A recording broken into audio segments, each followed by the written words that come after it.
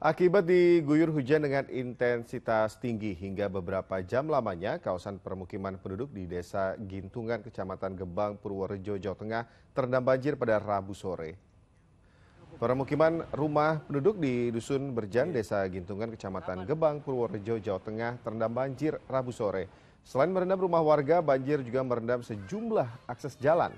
Akibat banjir dengan ketinggian 50 cm ini, warga kesulitan saat beraktivitas.